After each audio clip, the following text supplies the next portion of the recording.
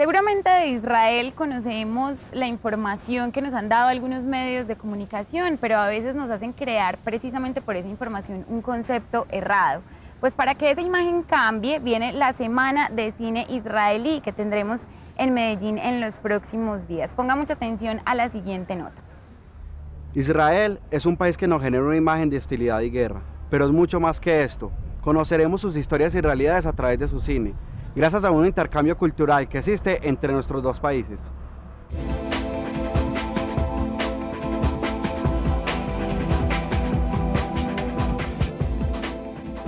Israel, pues por el momento la violencia pues, que ha vivido, todo lo que la televisión nos muestra pues de sufrimiento que, que le ha tocado soportar.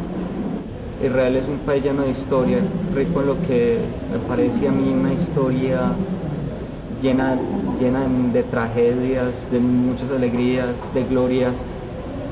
Es un país que, me, que en este momento está pasando por algo muy grave.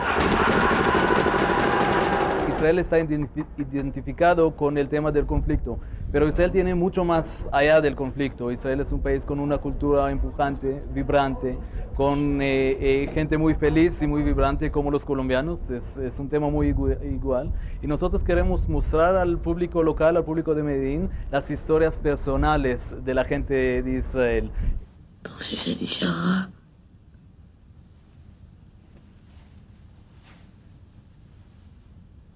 אם תגידי עוד פעם את מה שאמרת עכשיו, אני אעזוב אותך.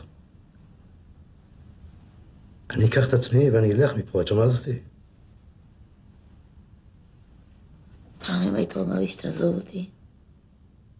Sí, nosotros trajimos eh, cinco de las películas más exitosas de los últimos años de Israel.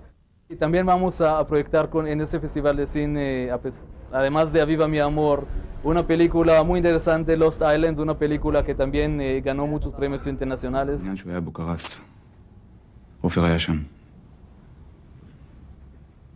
Dos películas más son Metallic Blues, de que cuenta una historia muy interesante de dos israelíes que van a un, a una, a un viaje muy, muy interesante que no lo voy a contar en Alemania. Y la última es La Deuda, que historia que, que, que muestra el conflicto entre la historia judía eh, con la presencia en Israel.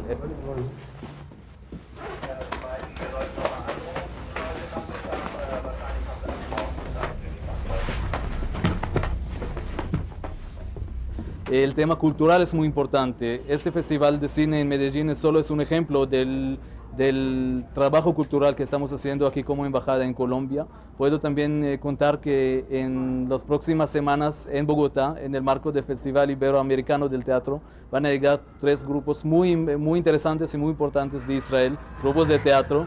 Y así que todo, todo eso son, son, son reflejos de las relaciones eh, tan buenos que tenemos Israel y Colombia.